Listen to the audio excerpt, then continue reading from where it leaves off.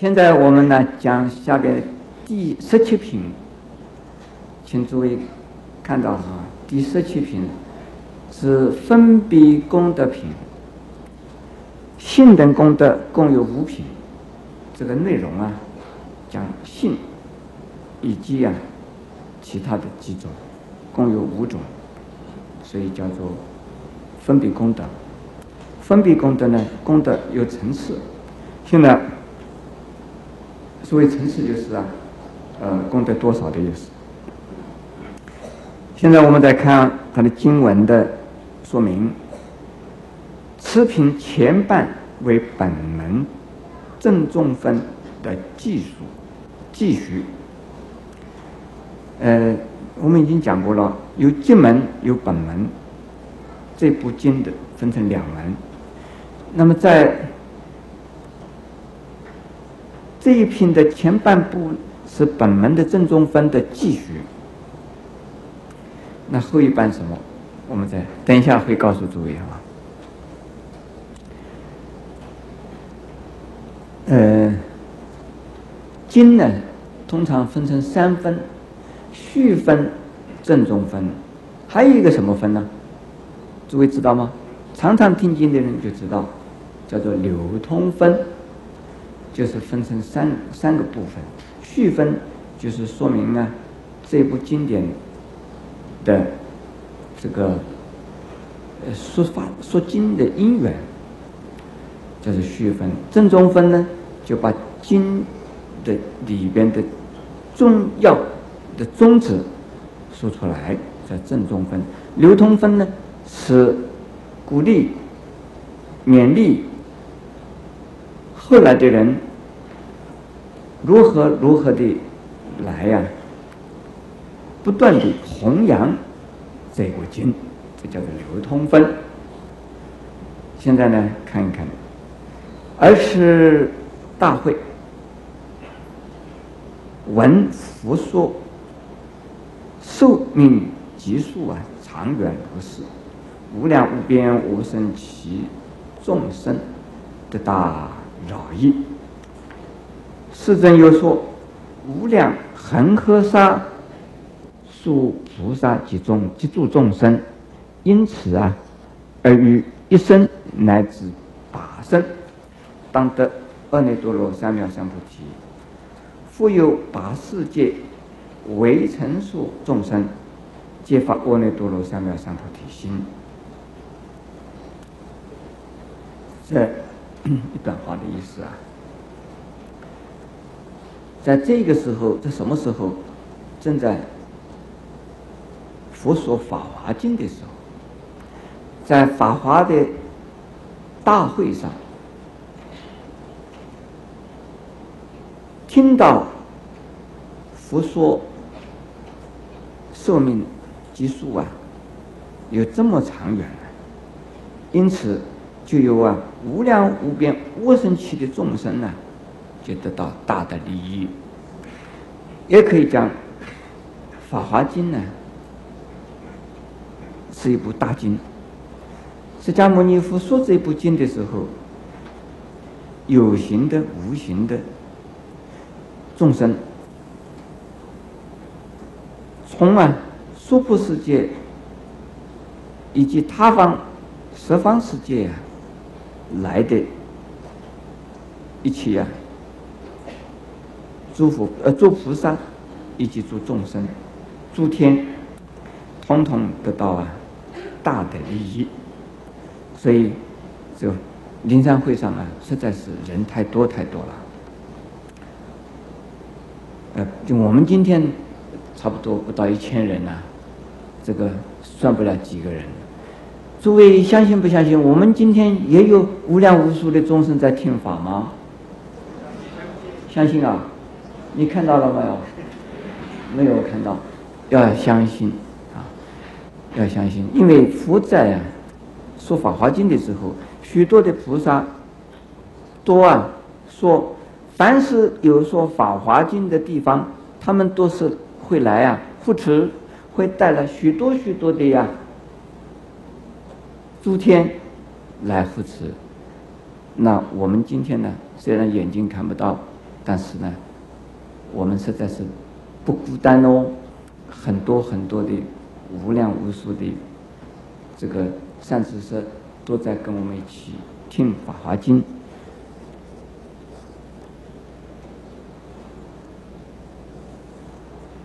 世尊又说什么呢？他说啊，无量恒河沙数的菩萨及诸众生呢，因此。呃，于一生和乃至于八生之中呢，应该得阿耨多罗三藐三菩提。那么，这个是算是人数啊，这个人数是好多了呢。呃，无无量恒河沙不得了哎，一个恒河沙就不得了。我去了印度看一看恒河，这个恒河的沙细的像面粉那样细。恒河的沙怎么有多少数啊？不知道。所以印度人呢，他就说数量多的时候就讲恒河沙。我们台湾好像白沙湾呢，就是这个地，这北部有个白沙湾，是不是啊？你到白沙湾去看一看，那个沙有多少颗，已经数不清了。恒河沙那条恒河有好多好多长的一条河。而且很宽，所以呀，要数清是数不清的。就那么多无量无数的恒河，啊，每一个恒河里有无量无数的沙，那一些沙都是一个每一个沙等于一个菩萨一个众生，那个太多了。而因为说这个经呢，所以这些众生在一生之中乃至于八生之中呢，都能够成佛，不容易。另外呢，还有八世界为成数众生，多啊发了菩提心。这个八世界哪里八个世界？这个世界啊，不是指的我们的地球这么小小的一个小地球。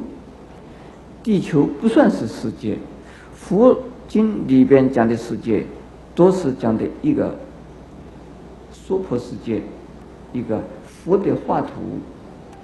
我们这个世界叫做娑婆世界，听到说过没有？今天如果来考察解释娑婆世界的范围大概有多大？可能就像一个银河系那么大，一个银河系啊，那么大的一个范围。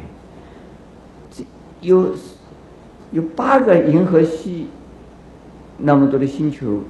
每一个星球上有多少的围城呢？不得了，这个加起来的围城数的众生呢，通通发了菩提心，发了成佛的心。我们地球上的众生数一数已经数不清了啦，何况是围城像地，像这地球上的围城数量的那么多众生，所以这个地方讲的众生呢？不是讲的仅仅是地球上的一点点的众生，而是呢来自十方无量世界的众生，他们都发了阿耨多罗三藐三菩提心。这个看起来好像很容易啊，这么多的人一下子就发了阿耨多罗三藐三菩提心，我们能不能够也发呢？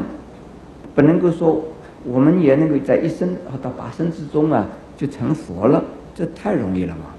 但是我们听了《法华经》之后，至少应该也要学着那个八世界维生素的众生那个样，做什么？发什么心？发菩提心。诸位要不要发？敢不敢发？好，阿弥陀佛，真的喽，不要打妄语哦。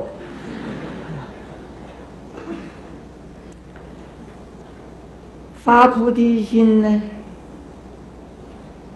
很好，就是啊，要随己而利人，这是菩提心。菩提心的内容呢，具体的说有四句话，这叫做是弘誓愿。一共有四句，诸位可能很多人都听过，也会念。跟着念一次：众生无边誓愿度，烦恼无尽誓愿断，法门无量誓愿学，福道无上誓愿成。很好，但是很多人呢，第一次来听的，可能还没有办法跟得上。没有关系，就是要度一切众生，要断一切烦恼，要学一切佛法，最后一定要成佛。这个四句话，那你懂了的话，就算是发了菩提心了。到现在为止，不敢发菩提心的人有吗？要发哦，很难得喽。有机会，现在我们一起发了菩提心，将来我们一起成佛，至少。有一个人成佛的人，其他的人都带了，跟着一起去啊，要做菩萨了。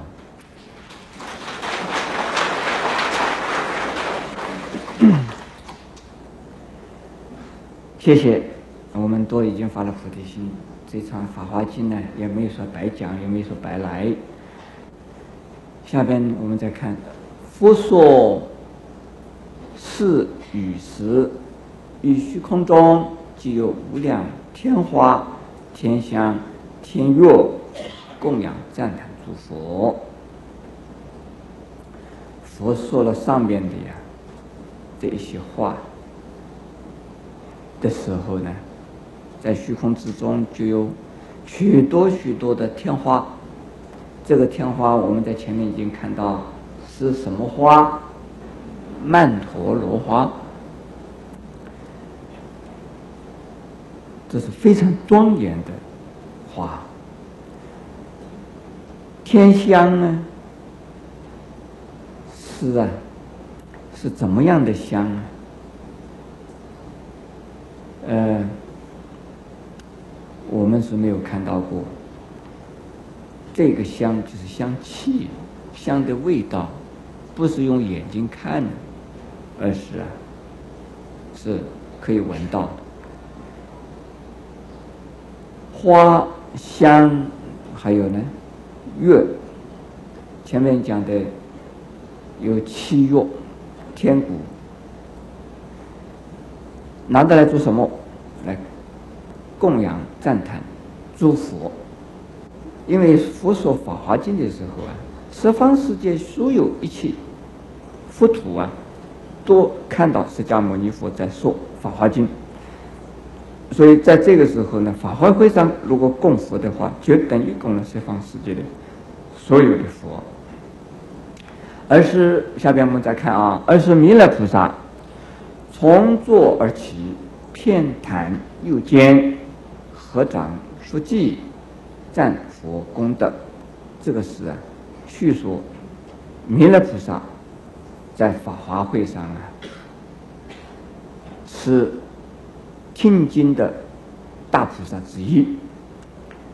这个时候，他为了请法，因此从他自己的座位上起来，把自己的袈裟片袒，右肩呢片袒，也就是袈裟本来是佛肩的满肩，呃，为了对佛的恭敬。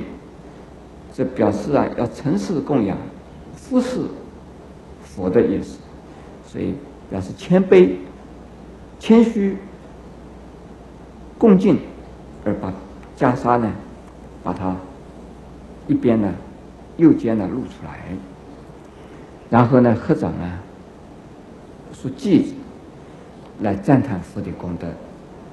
下边就是佛说稀有法。其说未曾有啊，未曾闻。世尊有大力，寿命不可量。无数诸佛子闻世尊分别说的法力者，欢喜冲遍身。是佛说这样子。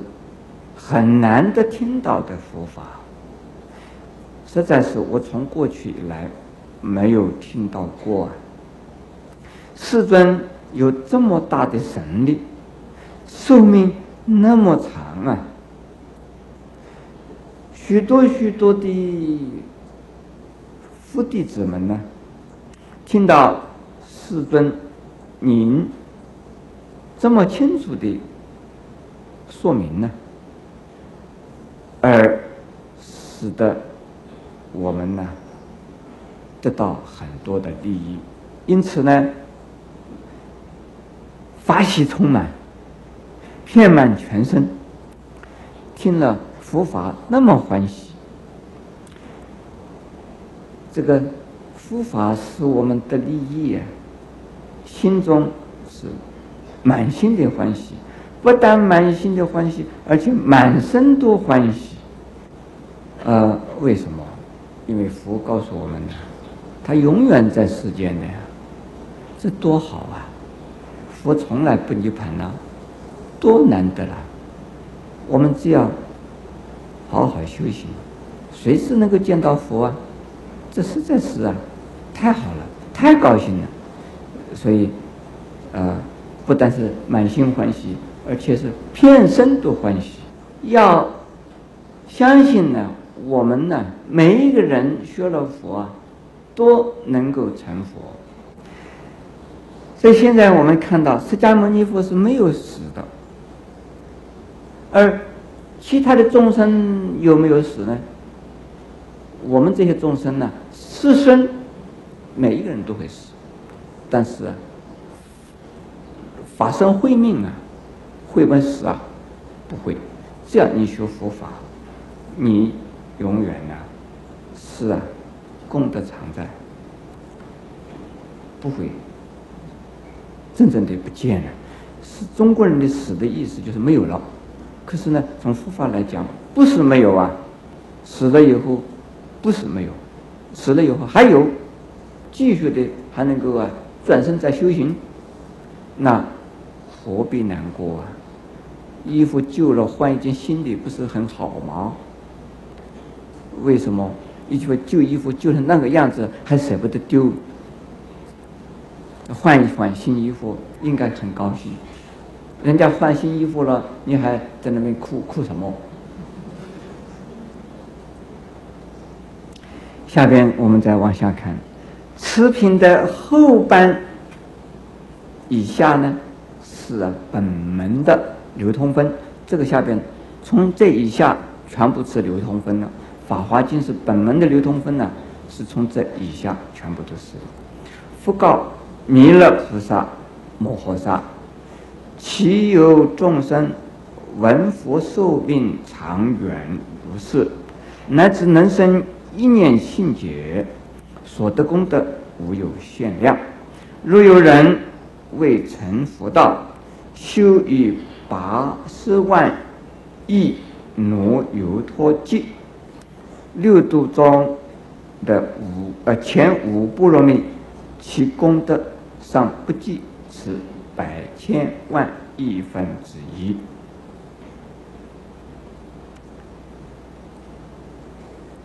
这个是佛告诉弥勒菩萨。弥勒菩萨叫摩诃萨，摩诃萨的意思就是大菩萨的意思，伟大的菩萨。摩诃萨多，叫菩提萨多，摩诃萨多，就是伟大的菩萨。初发性的菩萨本人叫摩诃萨，可以叫菩萨。但是不能叫摩诃萨，这大菩萨要称为摩诃萨。摩诃的意思伟大。他这一段讲什么呢？说假如有众生像上面的所讲的那些众生呢，听到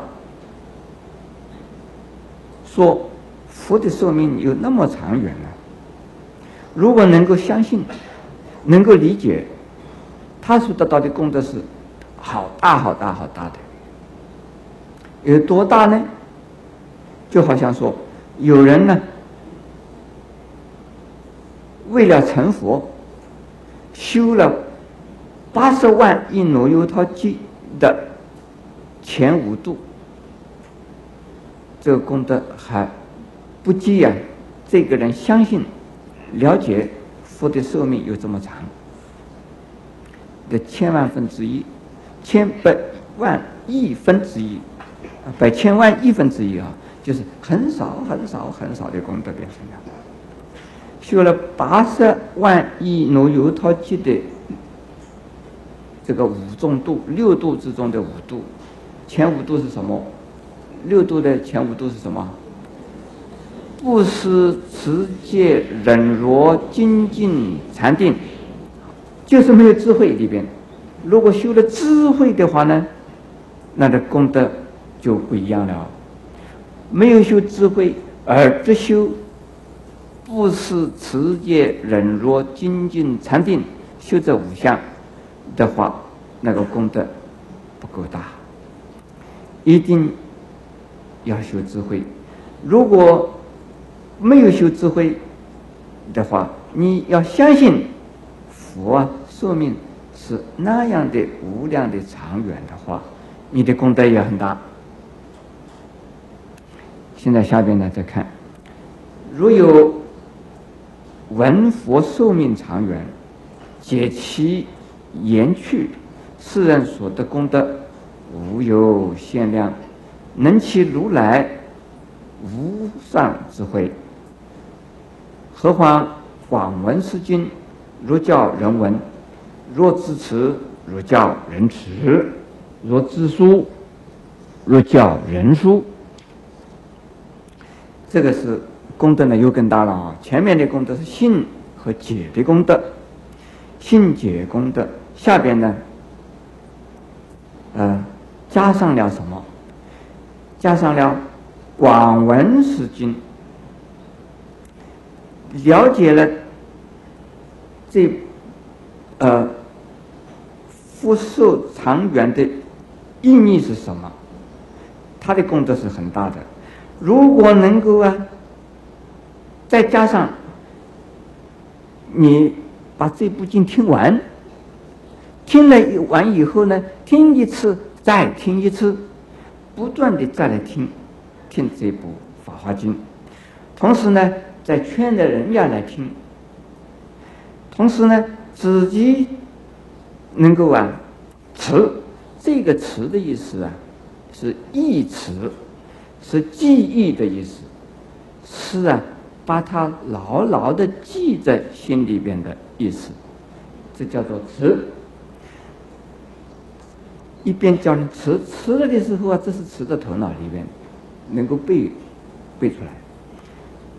但是为了让其他的人也能够有机会呀，看到这部经典，所以要写经，自己写也。劝导其他的人呢写这部经典，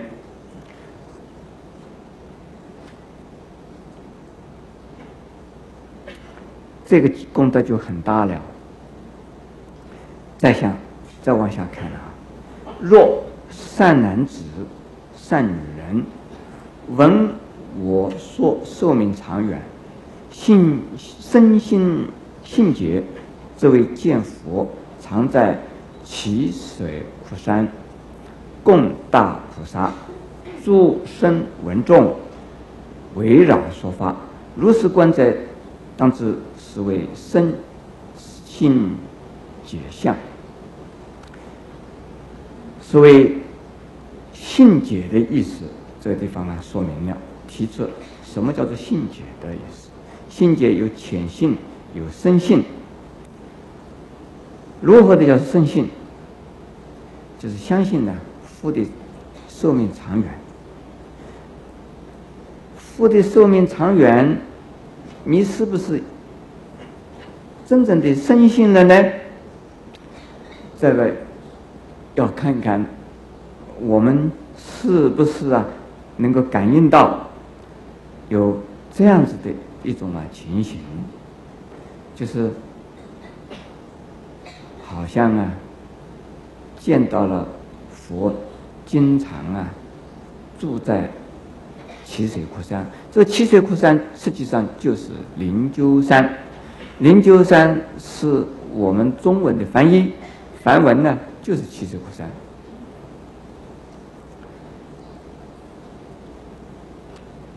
佛在灵鹫山跟许多的大菩萨和许多的阿罗汉围绕说法，能够这样子的观想的话呢，就是叫做生性、生性的或者是生解的一种啊表示。那我们呢，每一个人大概都能做得到，不是要眼睛去看到啊。我们做观想，我们想象着观想着，佛的寿命是很长远的。我们就想想看，佛现在就在灵鹫山上，跟许多的大菩萨，跟许多的阿罗汉，在正在围绕着佛，佛在那边说法，而这些大菩萨、这些阿罗汉正在听法。如果我们这样做观想啊的话呢，这叫做生解生信。如果能够生解生信的话呢，这个人功德无量。诸位，这样子的观想很容易做到，对不对？如来密后，若问，若闻是经。而不回此，其随喜心，当知啊，以为身心解相，何况读诵受持之身？世人之为顶戴如来，不须为我，复其他事，即作身法，以事实。供养众生，是善男子、善女人，受持读诵是经典者，为以其他造立身房，供养众生。这一段呢，是讲啊，听到了。法华经，而不破坏、不说坏话，来批评法华经的话，同时又能够啊，以随喜心来听闻法华经，这。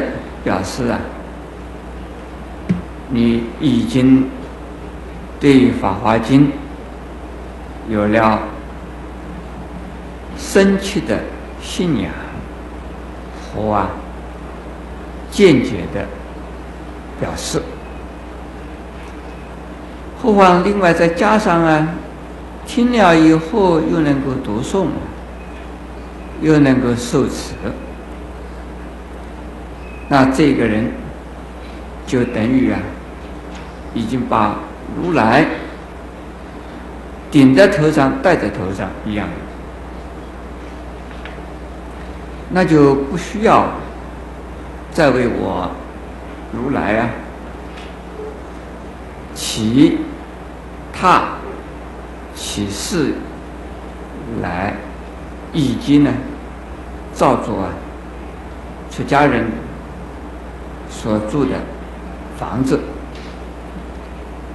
也等于啊，不需要再用四种事啊物来供养出家人了。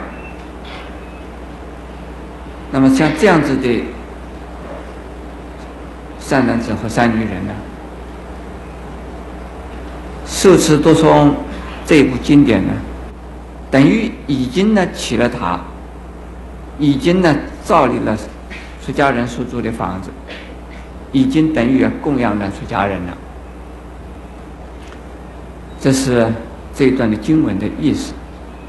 现在我们再把它比较详细的解释一下。当释迦牟尼佛涅盘之后。如果有人呢听到了这部《法华经》，产生了欢喜心，当然也不会呀毁谤他、破坏他。那表示这个人已经呢对《法华经》有了升起的信心和理解了。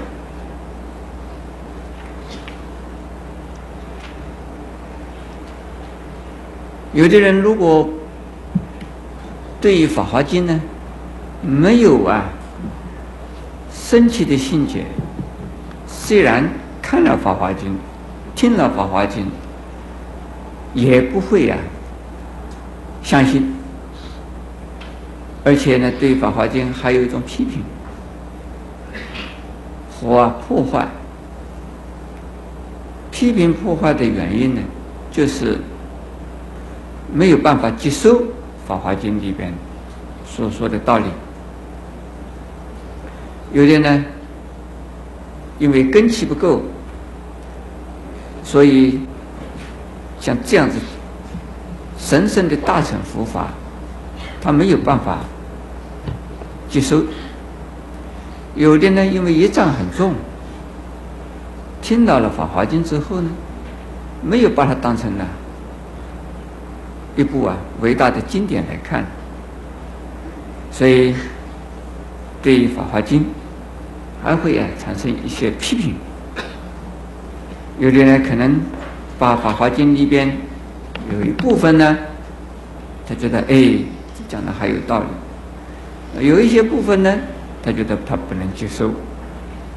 既然不能接受，他给给他们给《法华经》呢做批评。那么像这种人，就不能够叫他成为是啊有深刻的信仰或理解的人了。如果能够随喜而不回谤，那听了这个经以后，已经功德很大，何况还能够啊读诵受持。听了《法华经》，能够读诵，能够受持，这个两个层次不大一样啊。听，这是啊，耳朵听到。现在我们也包括啊，看，但是在古代呀的经典。有一些人不是啊，从一本一本的经来从读经和看经啊而知道的，而是呢口口相传，这个是一个人把《法华经》呢从前边的人口述。然后呢，一句一句的把它记下来，然后再把它背出来，然后再能够啊，直接朗朗的呀读诵。呃，诵经呢，就是不需要有句与句之间呢有分割。那么读经呢，一定是句读分明的。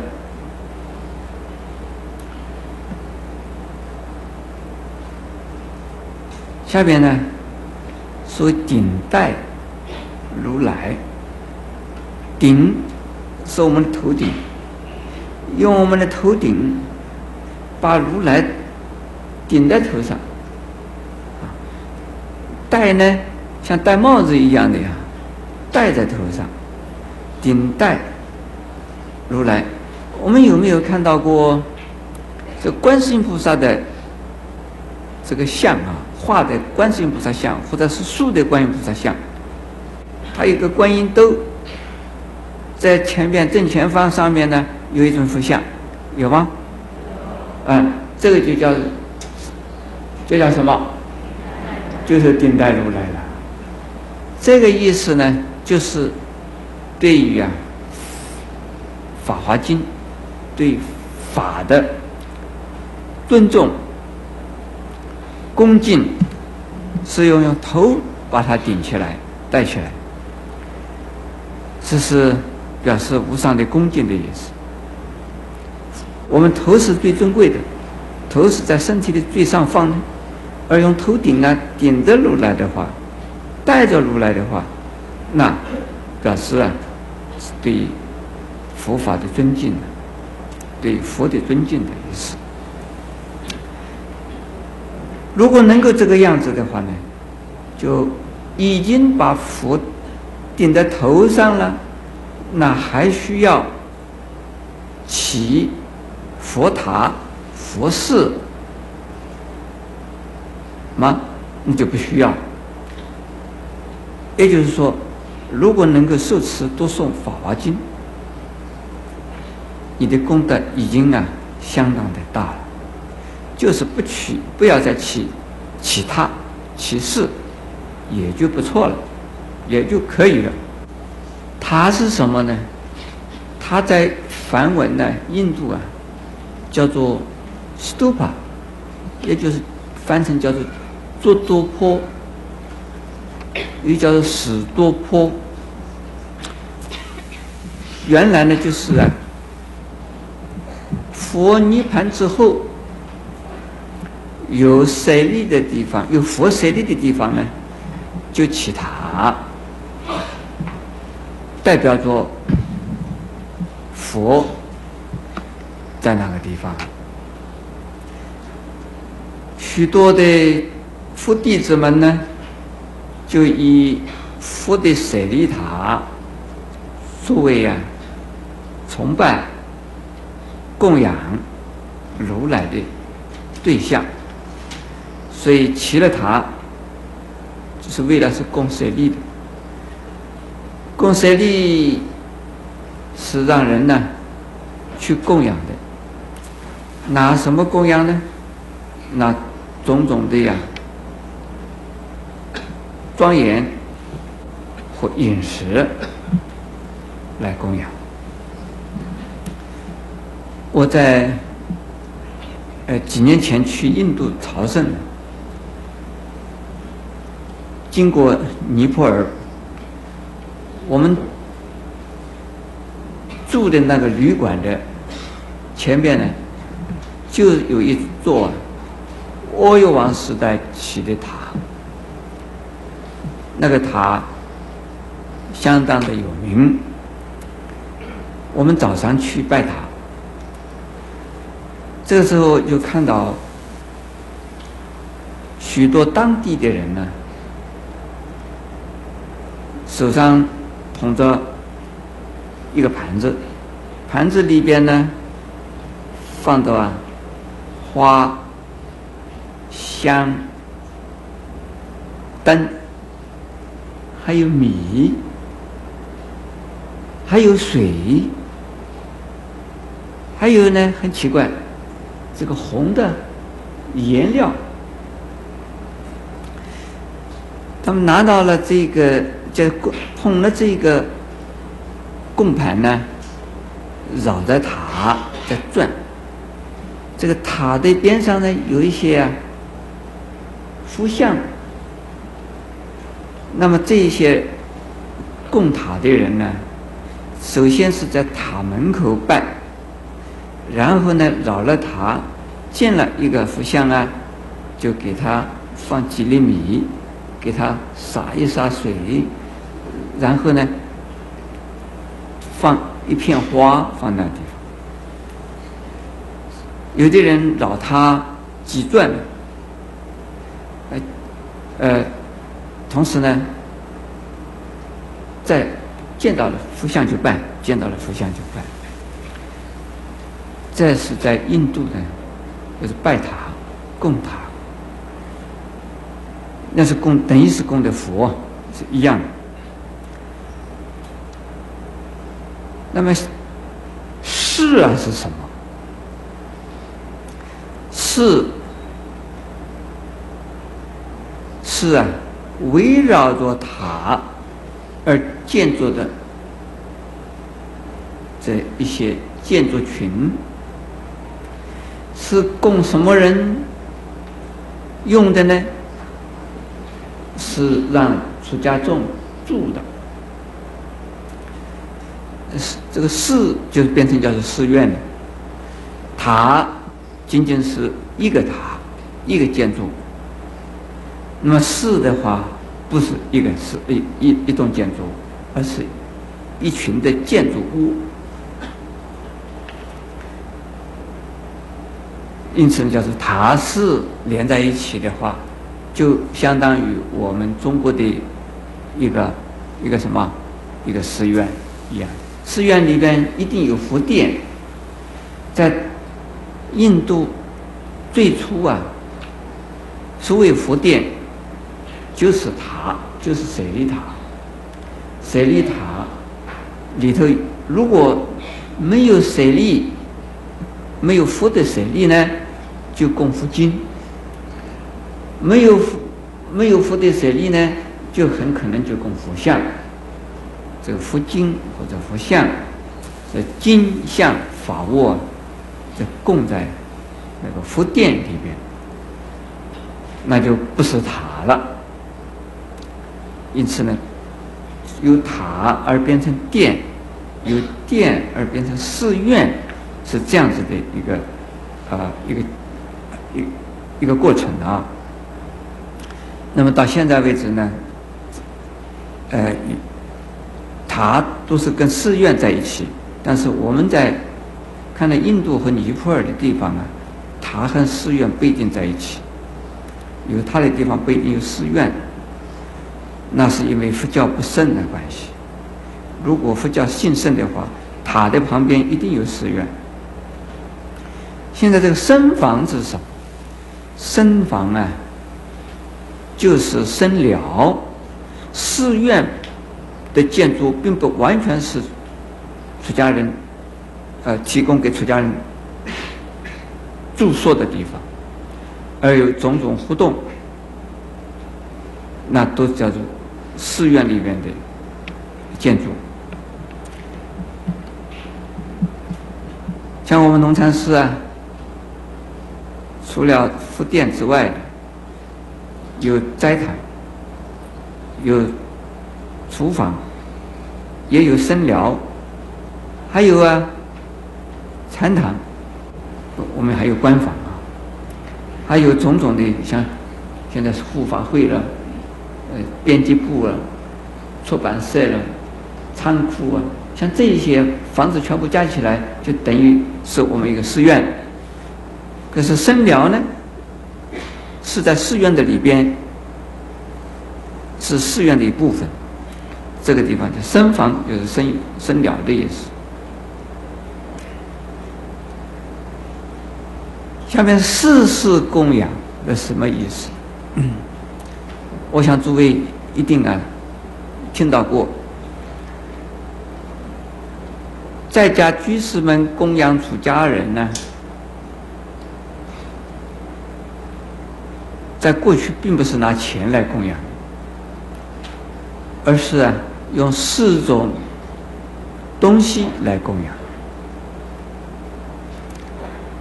是啊，饮食、卧具、汤药，还有什么吗？衣服，这种是四种啊，饮食、汤药。卧具、衣服，这叫做四种供养。说四是供养，是供养僧众啊，让他们能够安心安身修行办道，那这个原则就好。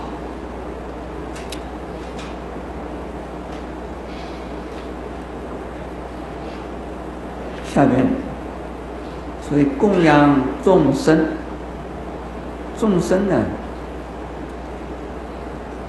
本来那个“生”字啊，就是众的意思。可是呢，但是有生，是，梵文的音译，这三个就是生前的意思。生前这个音是梵文的，可是呢，中文的意思是什么呢？是众，大众的意思。所以大众生，那是指的什么？是指的比丘、比丘尼。沙弥、沙弥尼，主要是指的比丘、比丘尼。沙弥、沙弥尼呀，一定是跟着比丘和比丘尼在一起的。有比丘的地方，才能可，才可能有沙弥；有比丘尼的地方，才可能有沙弥尼。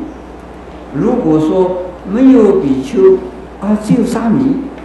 没有比丘尼，啊，只有沙弥尼，那是有问题的。沙弥怎么成为沙弥的呢？跟谁在学呢？所以这个地方的僧众或者众生是指的比丘、比丘尼。如果沙弥、沙弥尼不跟着比丘、比丘尼在一起，这是不合法的。好，下边我们再看，是三男子三女人，像这样子的人，像什么样的人呢？前面所讲，听到《法华经》，不回谤，生欢喜心，而且还能够读诵、受持的人，这种人怎么样？受持不诵是经典者，已经等于是起了塔了。等于已经呢造了身法了，等于已经呢供养了众生了。好，现在我们下位往下再看经文。是故我说，如来的后，若有受持不诵，为他人说；若自书，若教人书，供养经卷，践行布施持戒忍辱精进一心智慧。其德最胜，无量无边，机智啊！一切种子，这一段是指啊，修行呢，菩萨道。如果有人能够受持《法华经》，不诵《法华经》，而且为他人说《法华经》，自己又能够啊。书写《法华经》，同时还教人家来书写《法华经》，然后呢，又供养《法华经》，这个是啊，对于这部经典的呀，自己自修，又叫人家去。修行，自己接受《法华经》，同时自己又弘扬《法华经》，自己受持《法华经》，又同时呢又叫人家去受持、读诵《法华经》，自己这个传播《法华经》，也叫人家去传播《法华经》，同时对。自己所受持读诵的《法华经》呢，用种种的庄严来供养。这个供养的重要意义是在哪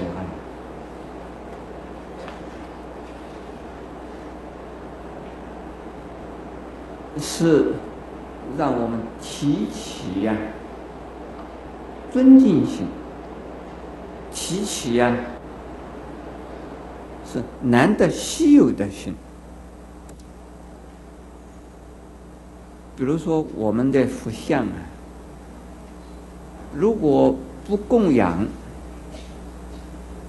那个佛像是什么？是艺术品，是一座雕像或是一幅画像、一幅塑像而已。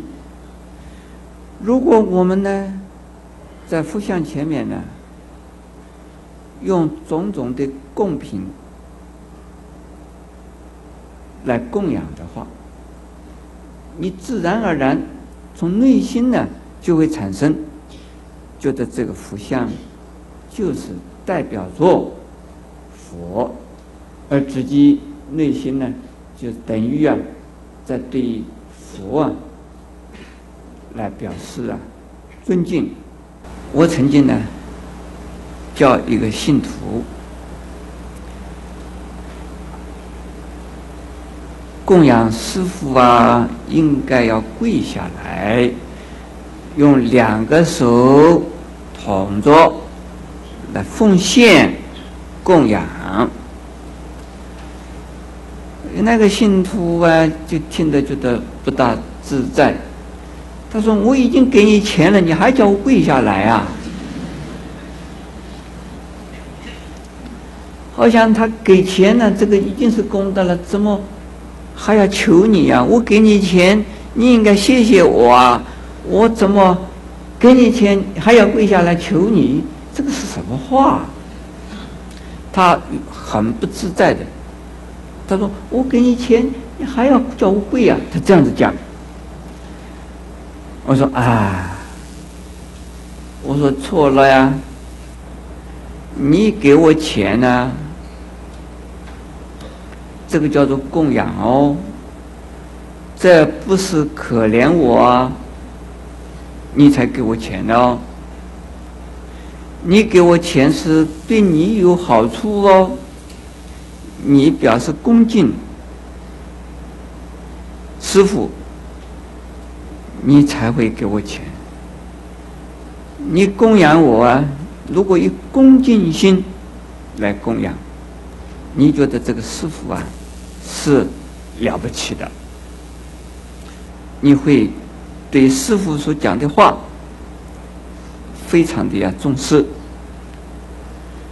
如果你拿了钱就是给我，然后我给你讲的话呢，你不会呀觉得那么。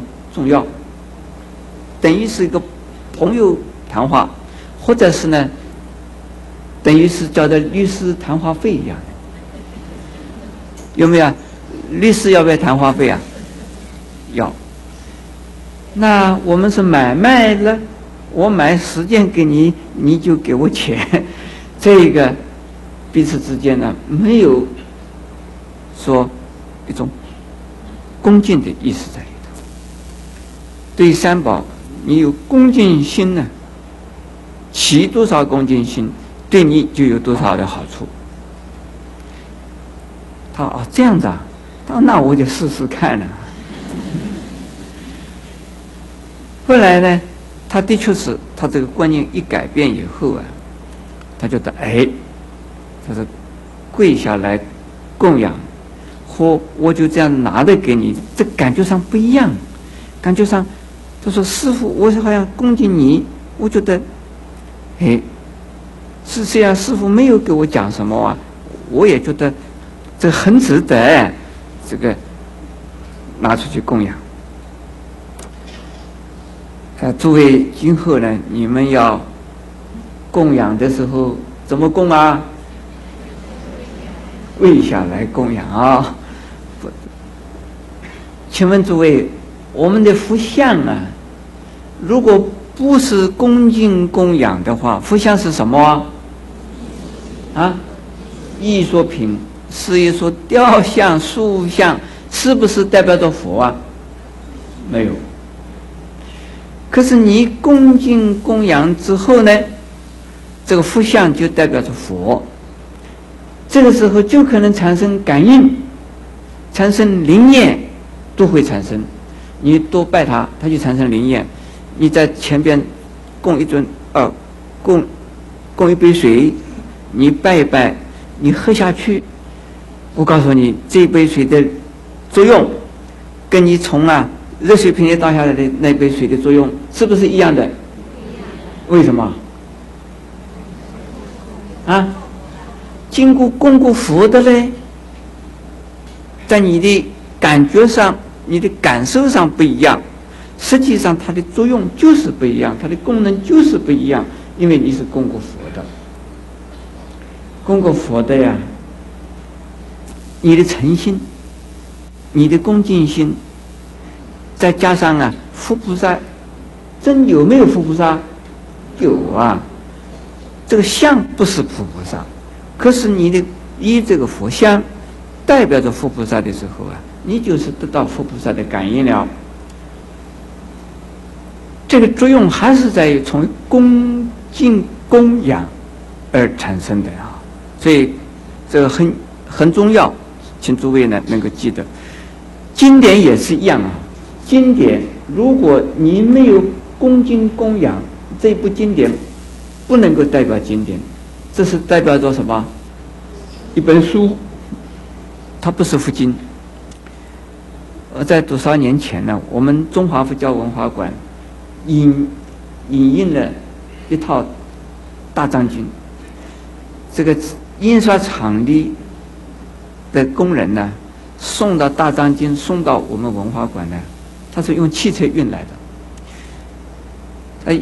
运的时候要从山山下一梯一梯的爬上去，一捆一捆的背上去，他背背也背得很吃力，他中途啊休息一下，你们猜猜看，他休息的时候，他怎么怎么休息法？啊？对了，坐在上面了。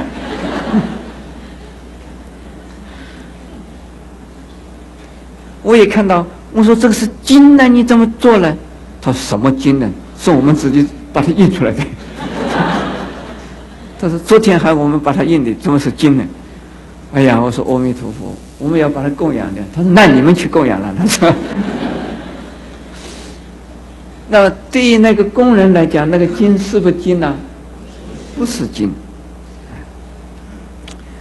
哎，但是没有福报了，他就他印的金还不知道那个是金，那这样。下边我们来看呢，下边看啊，下面是就兼行六度，就是仅仅是这个受持读诵供养还不够，应该呀要修六度法门了。六度啊，实际上就包含着一切的法门。所以叫做六度摄万恨。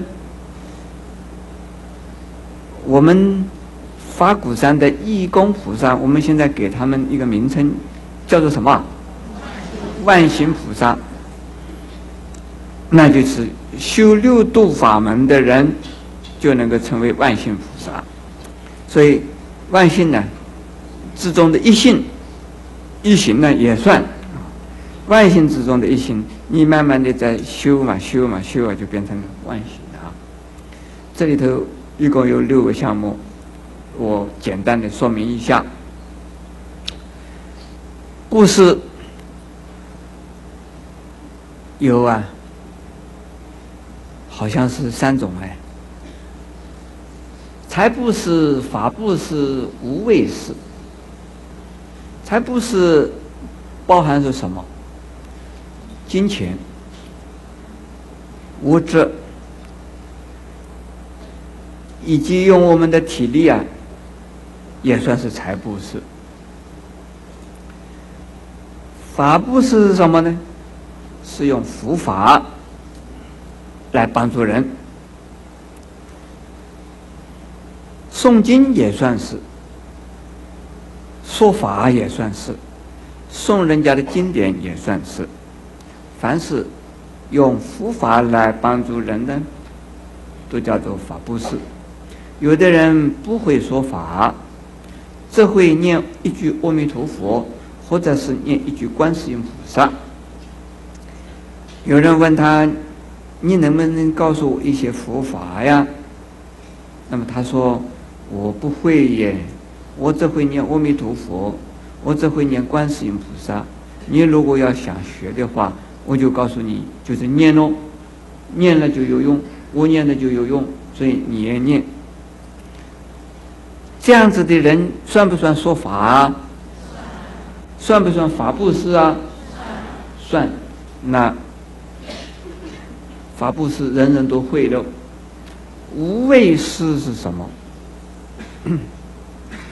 是众生呢，不去恐怖，是众生呢有安全感。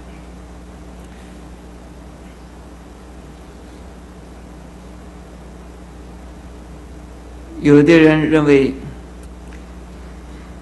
有财、有势、有地位、有名，就能够啊保护他人，这个叫做无畏势。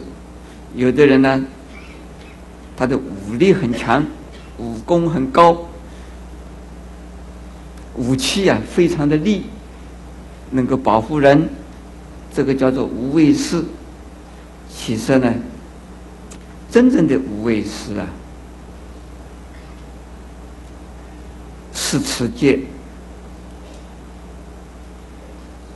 真正的持这个无畏师啊，是忍弱；真正的无畏师啊，是精进；真正的无畏师呢，是禅定；真正的无畏师啊，是智慧。无畏啊，就是说，因为。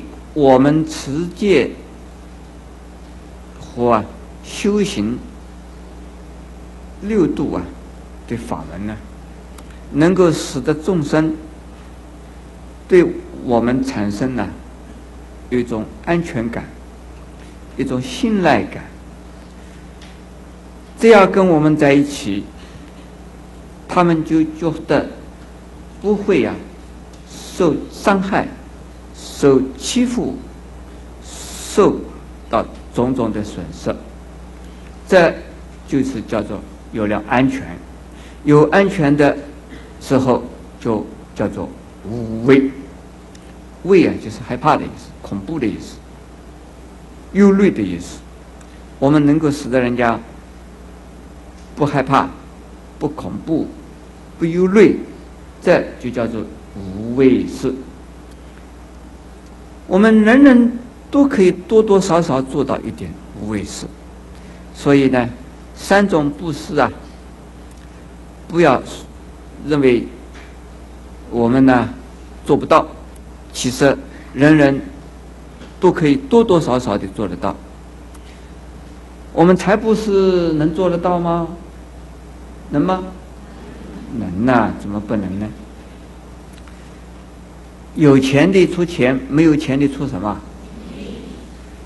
没有，没有体力。这个嘴巴的力量有没有啊？有出嘴力。如果嘴巴的力量也没有，还有力，心力。好了，我们总是说有钱的出钱，有力的出力，总是能够出到一份呢布施的功德，能做吗？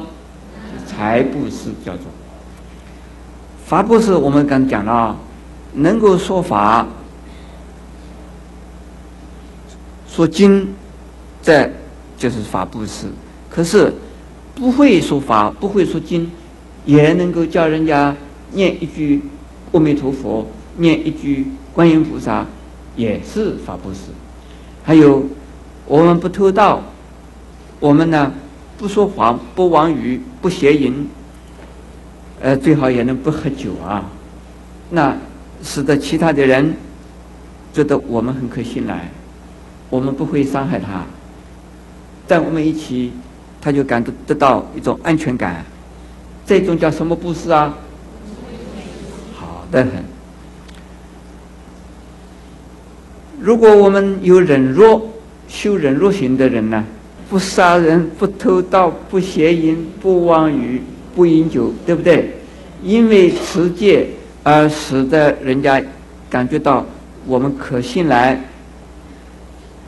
而使他有感有安全感，对不对？这叫什么事啊？对吧？如果我们修忍若行的话，有人呢不小心。或者是呢，他发了神经病，他欺负了我们，侮侮辱了我们，打击了我们，我们会不会给他报复啊？不会。所以，虽然呢，他欺负了我们呢，他就不会担心着，哎，我已经呢伤害了他，可能他还会伤害我。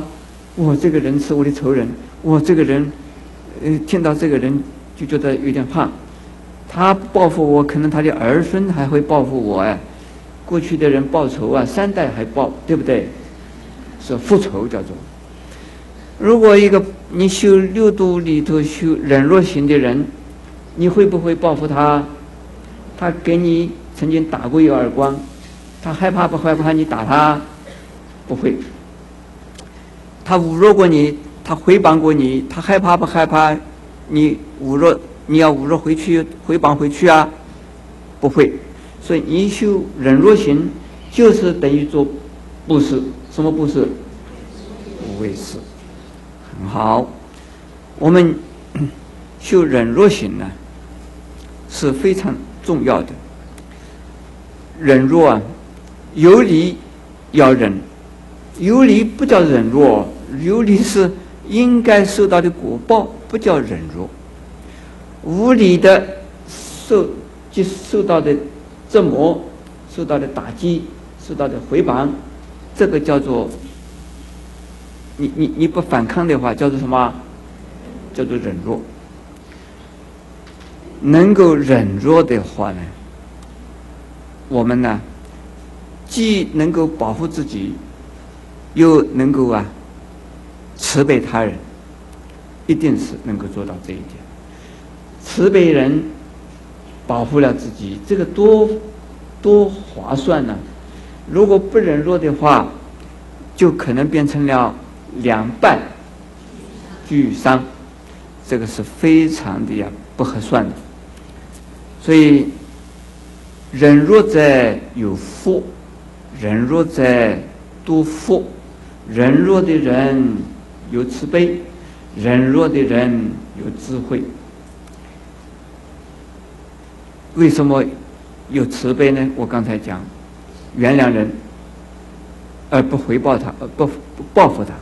为什么是有智慧呢？因为忍弱，你就不会起烦恼。我们的《共勉语》四种福祉共勉语里边呢，有两句话，可能诸位有的人知道。慈悲没有敌人，智慧不起烦恼，是不是这样的？好，慈悲没有敌人是一种忍弱，他是是你的敌人，可是呢，你不要把他当成敌人，这是慈悲心。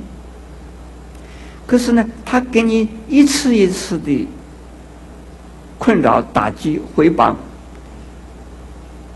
但是呢，你心中啊。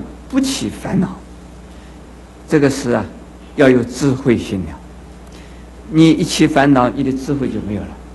所以忍弱是一种大布施，忍弱也是一种慈悲，忍弱也是一种智慧。所以忍弱很重要。下边是精进，精进是做什么？静静的去做布施，静静的去持戒，静静的去忍弱，修忍弱心。这还有。静静的修行禅定，静静呢？为什么是第四个呢？而不是第，而不是第五个呢？因为前边的三种非常的重要。前边呢，布施的时候不一定精进，持戒的时候不一定精进，忍弱的时候不一定精进，到了第四个的时候啊，你说现在你要精进了啊。精进不是精进持戒，精进忍弱，这一层一层的呀，给加强。然后是一心是什么？一心就是修的禅定。禅定呢？哎，精进的意思是什么？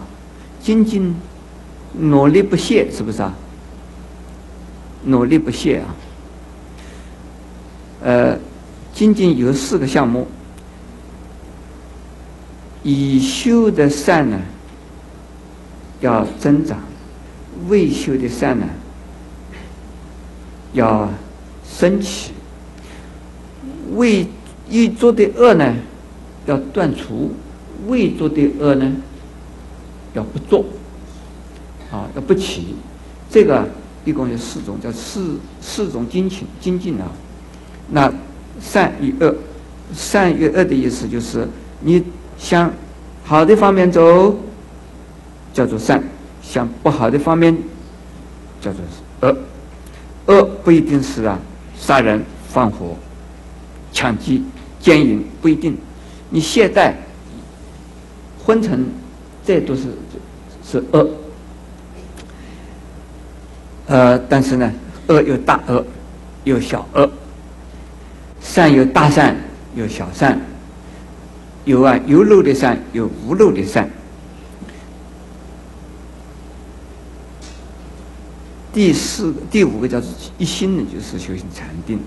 禅定又分成两种，一种啊是身体要有一个打坐的姿势，要有一个安静的环境，而且呢要有一一段一段的呀，或者是啊长时间的修行。所谓修行，就是单独的修行的时间。可是另外一种呢，不需要一定有个打坐的姿势，也不需要一定呢有一个安静的环境，只要心经常啊不受环境所困扰，不受不受环境呢说啊，呃。牵动，就是心不随经转，心呢不随着随着环境啊而啊动，环境里边好坏是环境，而自己的心不受动摇，这就是定。呃，这个不容易做得到哈，很难做得到。许多的人呢。能够说，说我的心是不会受动摇的啦，我的心绝对不会受到影响的啦，有这样的事吗？有了，这很难呐。因此，要有了相当好的功夫之后，你才能够啊，心不随境转，这个叫做一心，也就是叫做禅定。所以，十字街头好参禅呢。这要有功夫了，普通的人做不到。可是我们也可以练习呀，练习着法身呢，心里边有烦恼的时候，马上啊回过心来看自己的烦恼心，你这个烦恼心自然就平静下来。如果你有烦恼的时候啊，你不回过来看这个烦恼心，而是啊，一直想要如何的消除烦恼，或者是啊，对着给你烦恼的警戒呀，你向他回报他，产生种种的心理的反应，那烦恼是不会停下来的，所以。中国的禅宗的禅法呢，不要求啊，我们一定要有打坐的姿势打坐，但是经常要检点自己的心在做什么，自己的心受到环境的影响而起伏，而啊动荡。那就是啊，不再修行。如果心在动荡，马上啊退回来想，看到自己的身这个心的动态，那我们的心理烦恼自然而然呢就会稳定下来。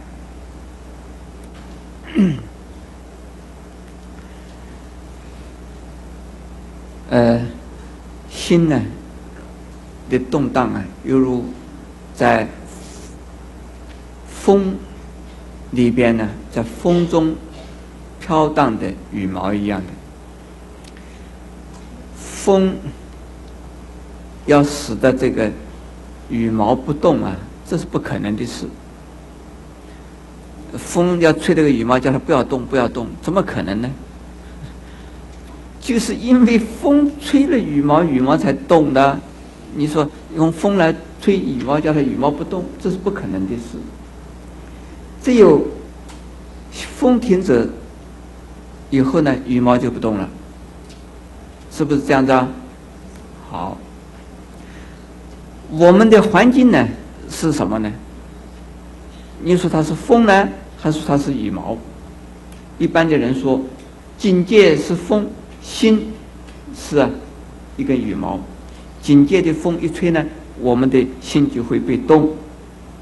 因此呢，我们的心呢永远不能够停下来的。但是，真正做功夫的人呢，要反过来看，我们的心是风，警戒是什么？警戒是羽毛，我们的心不要动，就看着你的心不要动，你的心不要动，心不动了，警戒怎么动跟你没有关系。这个是倒过来做功夫，所以看心而不要看静。你一看静呢，警戒是一定是动的，所以要调过来。诸位听懂没有？听懂啊？警戒是风，吹羽毛的心，你要使得羽毛不要动，不可能，心一定是动的。心不要动，心是风，而羽毛是警戒，那你的你的心不动，羽毛就是外边的警戒啊，就不会动。所以倒过来啊，这个是一心。呃，我们拜佛礼佛的时候。一心定力有没有啊？拜忏了哈，这个也是禅定哦，哦，也是禅定。一心呢，就是你的心无二用，这个叫做一心，这就是定。当我们的心呢，看到自己的心，不是不要管外边的环境，这个时候啊，是就是一心。你的心老是看到环境，人家骂你一声，你说哦，这个家伙骂我啊，骂的是什么意思？为什么要骂我？这个时候是一心二心呢，二心三心都有喽。所以，人家骂你，你自己呢不要在乎他，你再看你自己的心，你说我的心动了没有？我的心不要受他动，这个时候叫做一心。懂了哈，能够有一心就有智慧，但是有智慧呢，又分成了这个有执着的智慧和无执着的智慧，那也叫做有漏慧和无漏慧。这个佛的智慧一定是无漏的，凡夫的智慧是有漏的。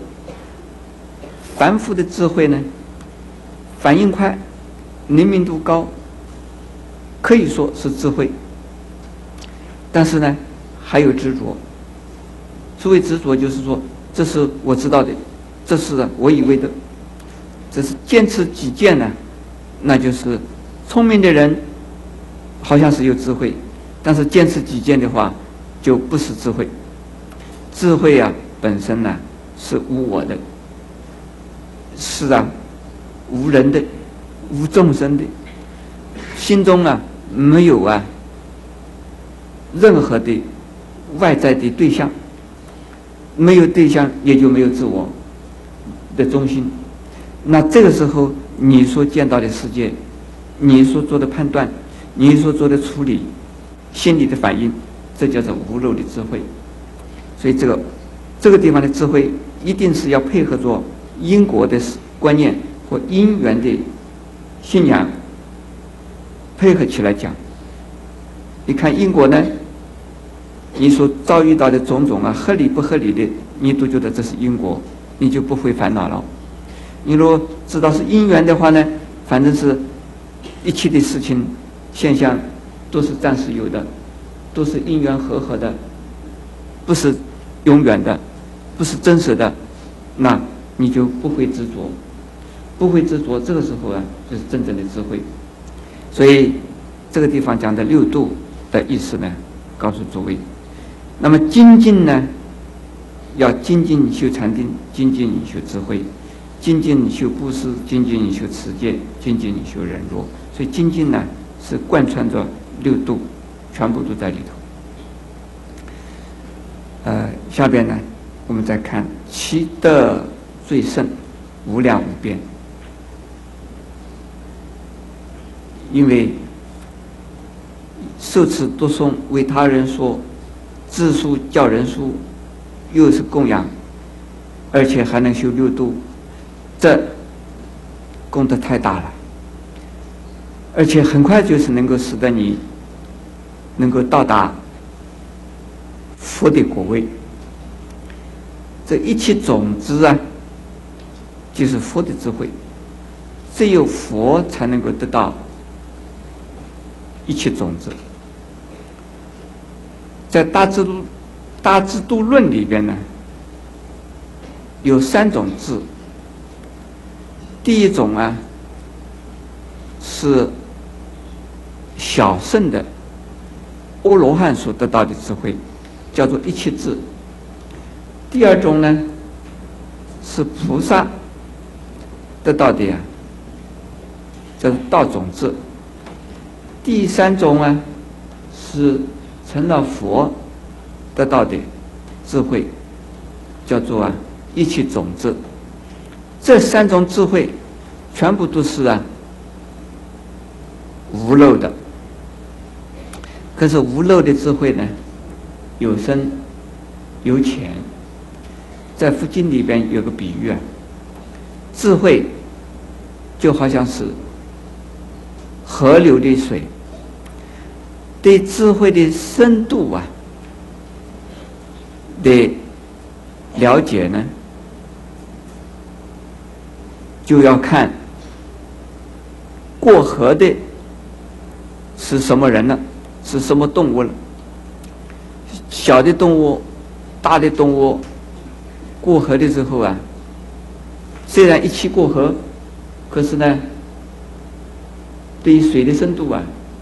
个人了解都不知道，不一样。有一个比喻叫做“三手三兽渡河”，我不知道诸位听过没有？三种动物一起呀过河，过同一条河，同一个深度的河。一一种是兔子，另外是一种什么？啊？是是是什么？牛。第三种呢？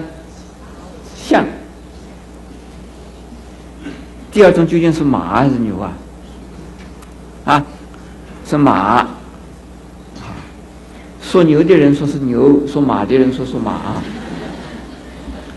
在附近的是马。这个兔子过河啊。他能够游过去，但是河有多少深，他知道吧？嗯，不知道。他过了河了。马过河的时候呢，在两边的河岸下去和上来的地方的深度啊，他知道。可是中央最深的地方，他知道不知道啊？他不知道。这个象过过河的时候啊，踏踏实实的从头到尾知道这条河啊有多少深。很清楚，那智慧也不一样了啊。这个地方的智慧，三种智慧，多是啊无漏智，多是啊能够度生死苦海的智慧。可是呢，因为他们的深度不一样，所以名称也不一样。呃。第一种叫做一切智，是什么人得到的？谁？阿罗汉得到一切智。第二种叫做道种子，是谁得到啊？菩萨，菩萨得到的。现在这个地方一切种子是谁得到啊？佛。这一段呢，是讲的对能够读诵、受持、书写、为他人说《法华经》的人，而再加上又起佛塔，又造僧房，又啊供有世事供养，并且赞叹呢声闻众生。又赞叹了菩萨的功德，那功德太大太大了。因此，像这样子的人呢，应该已经是啊，走向了很已经激进了，走向而激进了什么？激进了成佛的这个方向和啊这个成佛的啊阶段。像这样子的人，他坐的地方、站的地方和走路走过的地方，都应该呀，给他起塔，应该呢，接受啊一切天和人的供养，就把它当成了佛的塔一样的来恭敬供养。哎，请问诸位，我们每一个人都能做到，对不对？想想看，能不能做到？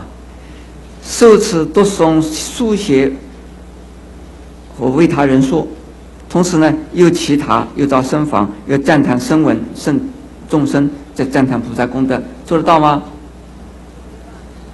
嘿，不容易，不容易啊！这个现在呢，的人呢？读诵书，这个受持大概都会了，可是受持可能很难。请问诸位，能够背诵《法华经》的请举手。能够记得《法华经》的请举手。没有哎，现在的人懒得很呐，都不用头脑记，用什么记啊？叫他放在电脑里头记。这我有了，我在电脑里头了，我一打字就出来了了哈。这个不是头脑里记的，在。过去啊，都是啊，要通背的。我出家的时候呢，呃，我背的啊。那个时候，因为师傅可以用这个，用这个手手的这个叫什么？啊，我们叫做毛栗子。为什么呢？这个头上啊，一打一个包，长出个。长出个栗子来，就是给他一个毛栗子，就是他一打，用这样用这个手啊手指啊一打，这个很冲很动哦，一打马上起一个包，上面有毛，就叫毛栗子。那个时候因为怕吃毛栗子，所以是呢一定要背啊。现在我们的徒弟不敢动它哎，不不要说毛栗子了，毛也不敢碰啊。所以是现在的徒弟呢，他们大概是不容易背了，不容易啊。呃，《法华经》呢，我是没有背出来，我我那个时候已经背会了，《心经》当然没有话讲了，《心经》《金刚经》《弥陀经》《楞严咒》《五堂功课》背会。后来我就开始背《法华经》，背了大概没有几品啊。后来我就离开了那个乡下这个小庙了，后来就没有背了。可是，在古代的人呢，大概都会背啊。呃，道宣律师，唐朝的道宣律师啊，以两啊二十天呢，把这个《法华经》背回来，背出来的。二十天背，能够背出一部《法华经》。呃，谁谁能够试试看好不好？这个《法华经》呢，一共有八万多字哎，不过八万多字而已，你二十天的怎么能背背不出来啊？不容易啊，不容易。能够能够读诵，能能够受持的很难。不过呢，能够把《法华经》的意思能够记得，也叫做受持。书写的意思啊，现在我们印经也算是书写，可是印经跟书写不大一样。书写呢，你一般一边写啊，一边头脑里边又在记啊，你一边写一边也在等于在诵啊，在读啊。所以书写的功德。跟比印经的功德不大一样。这个书写的功德呢，一方面是自己在诵，自己在看，那一方面又把经写下来以后呢，又传布给其他的人，所以功德很大。那么现在的人呢，没有太多的时间来写了，那就出钱就印经了。可是现在有许多人呢。把经呢印的越印越多，有的呢粗制滥造，印的经出来，人家看到这个没有没有这个收藏的价值。那现在台湾呢，这个因为这个经济比较富裕啊，很多的印经的团体和个个人呢。就走上很精致的这个印经的路上去。我们最近还得到了好像几十本呢，这故宫里出来的这个经本，这个字啊都是铜呃铜板打铜板纸，呃打字呢是用电动打字，不是电脑打字，是电动打字，这电打。又是铜板纸印的，还有呢，这个金的这个四边呢、外边呢、外形啊，全部是不仅仅是烫金哦，全部是这个泥金。里边的经文呢，看起来是那么的美啊！真的，像这种经呢，我拿的时候我不敢拿的，不敢拿的读哎，为什么？我这么。这么好的经，这个读读的时候很可惜啊，所以只只有个供的啦。那这样子的经呢，已经失去了这个传播的意义啊，只能够所谓珍藏？只能够说哦，我有一部经供在哪里？所以印经应该呢印的精美一些，可是呢不要印的他那样子经发。呃，但是呢。印经也不能印的泛滥呢，很多的经拼命的印，印了以后啊，大家都叫收藏了啦。说《法华经》呢，一一种一种的版本，一套一套的，一把它藏起来，怎么有啊？看它也没有送它，这种印法，只能够说到了两千年或者三千年以后，这个当成当成当成什么？哎，当成现在的就是古董文物来啊，这个欣赏来。所以我们印经也要讲究啊，呃，一个是呢需求量，一个是它的品质啊，要考虑它实用、有用、真正的流传的用的，而不是拿来去当古董看，也不是的粗制滥造，这个。拿着人家不想啊，拿着来用。在我们三十年、四十年前呢，你粗制滥造的经，我们都觉得很珍贵耶，很不容易得到。那现在因为很容易，呃，得到好的经本呢，就粗制滥造的就不要了，很多人就不要。那我们现在就是看啊，赞叹声闻众生，赞叹菩萨功德。这个《法华经》里面这这两句话非常重要的。我们知道《法华经》呢，从方便品开始，多是讲啊，二圣、小圣都是不究竟的，多是啊，呃，应该呀，呃，回小向大，放弃小圣，再来。学大圣；如果不想学大圣，呃，只想学小圣，呃，有的人怕学大圣，或者是呢看不起大圣，不相信有个什么大圣，这种人，《法华经》里称他们什么人呢？称他们为什么人？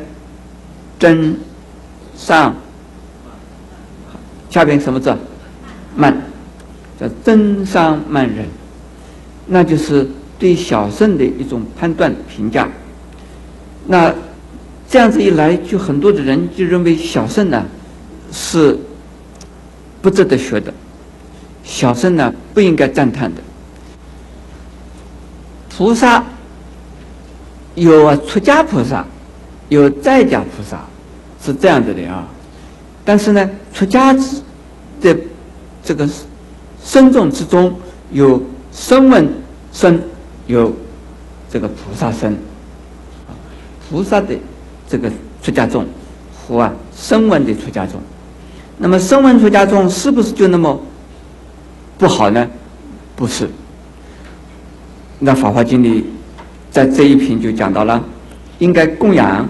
应该赞叹声闻众生，《法华经》里现在这样子讲：我们既然要供养、要赞叹呢，你怎么还那个批评他？不可以批评。声闻声呢，实际上是啊，大圣佛法的基础啊，没有基础，我们呢就没有办法能够成为大圣，所以。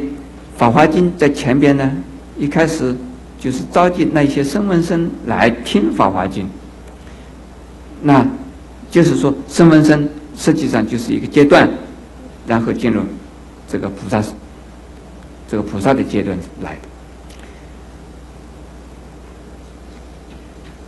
如果能够这样子做，又供养、赞叹身闻众生，又赞叹了菩萨功德。这个地方为什么没有讲赞叹供养菩萨？菩萨要不要供养？菩萨呢？以现菩在家菩萨身的话，不受供养；出家菩萨像受供养，因为在家菩萨像啊，他有在家的事业。所以在家生不能够受供养，能不能受恭敬呢？可以受恭敬，但是不是啊？像对佛那样子的五体投地的恭敬。但是有一点，密宗的上师啊，好多是在家人，他们照样的受弟子。照样的接受恭敬，照样的接受供养。诸位看到过《弥勒日巴传》里头啊，就讲到他的老师马若巴就是有太太的，那这弥勒日巴照样的供养他，许多的弟子照样的恭敬他。因此，许多密宗的上师呢，他是啊接受供养、接受恭敬、接受礼拜。但是他们呢，是观想本尊成功之后，自己跟本尊合而为一。他自己啊，本身不是本尊，但是因为他跟观想本尊跟自己的本尊在一起，一个合而为一呢，所以人家的恭敬供养是对本尊的恭敬供养。所以本尊呢，就是佛，就是佛菩萨，呃。那么现在的有一些人呢，并没有观想成功，并没有得大成就，就要接受恭敬供养，那是，不合不合法的。就是不管是啊，用显教的立场或密教的立场，都是不合法的。呃，现在我们再往下可以啊，终极这一段呢，总计以上啊层次呢。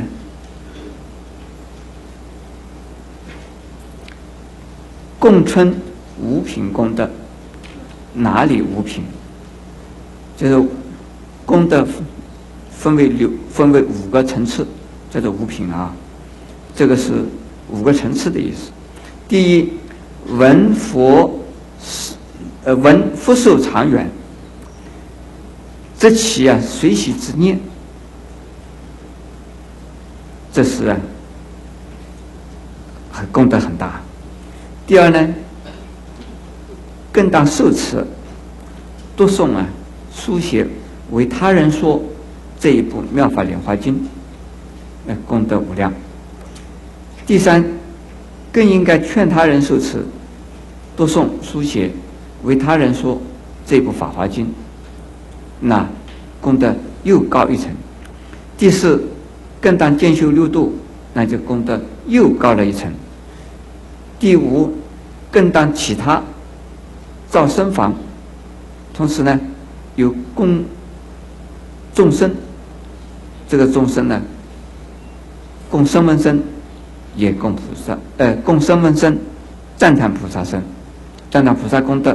这地方没有讲菩萨身，而讲菩萨功德。如果能够这样子的话呢？就等于啊，你在所在的地方已经呢起了塔而供养了，这是第五种啊。第五种我们再念一次：更当其他造僧房供养众生，呃，并为依据如上的功德者所在之处啊，其他供养。炉上的功德是什么功德？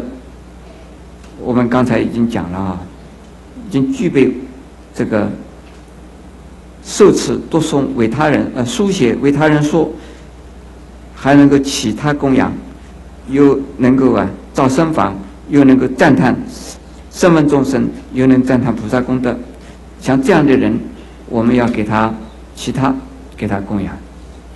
呃，这种人是不多了，不容易，不容易啊。虽然要修行这些法门是可以修的，但是呢，要把呃这个六度啊修好哦，这是不容易。所以我们还是谦虚一点，不要自己正在刚刚开始学《法华经》呢。就希望人家替你其他来给你供养了哈。